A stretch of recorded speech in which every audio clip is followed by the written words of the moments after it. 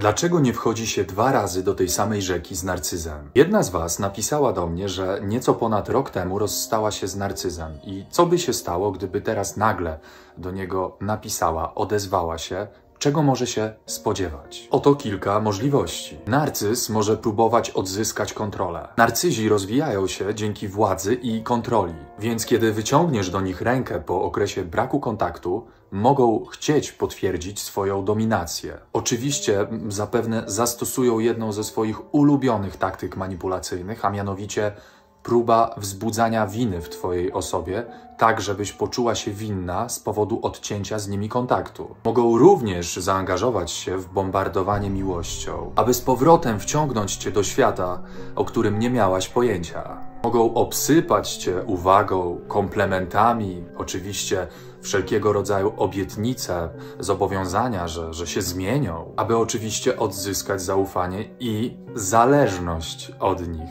Oczywiście jest to tymczasowy akt odzyskania kontroli, a nie prawdziwa transformacja. Cykl nadużyć może zostać wznowiony. Narcyzi są znani z cyklicznego zachowania, gdzie przechodzą przez fazy idealizacji, dewaluacji i odrzucenia. Jeśli wznowisz z nimi kontakt, zostaniesz poddana tym samym wzorcom manipulacji emocjonalnej, gaslightingu i złego traktowania, którego doświadczyłeś, doświadczyłaś wcześniej. Gaslighting i blame shifting. Narcyzi bardzo często zniekształcają rzeczywistość, zaprzeczają swoim wykroczeniom. Oczywiście próbują sprawić, byś zwątpiła we własne postrzeganie rzeczywistości, we własną percepcję. Na bank będą próbować przekręcić narrację po to, żebyś poczuła, że to ty jesteś winna. Oczywiście, że twoje powody braku kontaktu były nieuzasadnione. Brak prawdziwej zmiany. Chociaż niektóre osoby, oczywiście mówię tu o normalnych ludziach, są zdolne do zmiany, niestety w przypadku osób z narcystycznym zaburzeniem osobowości jest to